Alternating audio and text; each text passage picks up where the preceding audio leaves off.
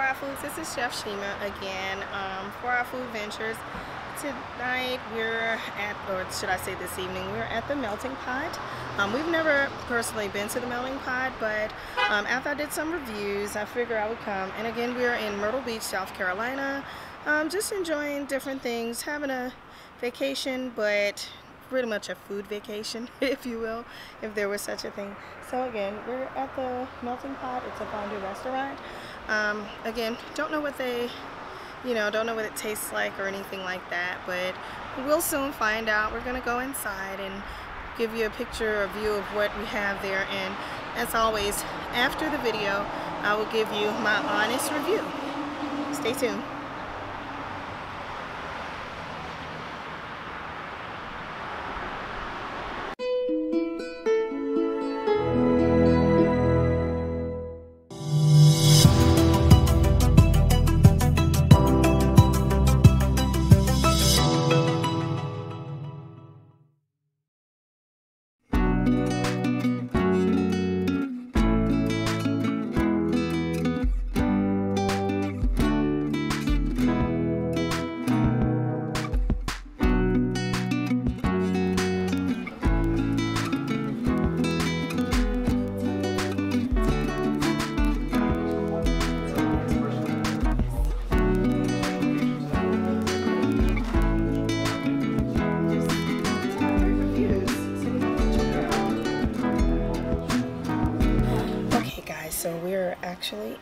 Melting pot now. Um, the thing is, we did not have to wait. Um, we had not made reservations. As a matter of fact, I don't think I even knew that was an option um, when I did the reviews. But um, when I looked at the reviews, I should say on Google. But we got in, I mean, pretty much almost immediately. Um, our server is very nice, by the way. Um, I'll let you know if that continues throughout the meal. Um, so far, we've gotten the uh, Quattro Formaggio as far as the fondue because it comes with several things, a four course. Um, both got the Caesar salad um, and the classic. The classic has a variety of different meats, like the chicken and the shrimp and the uh, dry rub um, pork. So pretty much gonna see how this goes. Um, as far as the drink is concerned, we have something called the Love Martini. Yeah, what a name! But they also have a Yin Yang one in it, and that looks good too. So um, hopefully we're gonna have a great experience, even though this is the first time for us. So you guys stay tuned. We'll be back with you.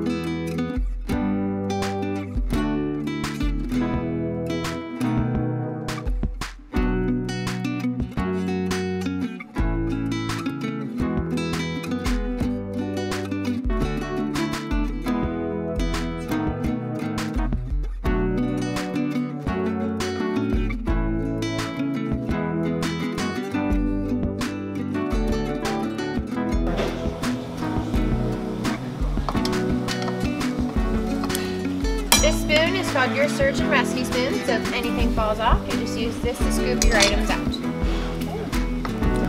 So for our cook times, the garlic pepper sirloin is a thinner slice of meat, so it's going to take around one to two minutes.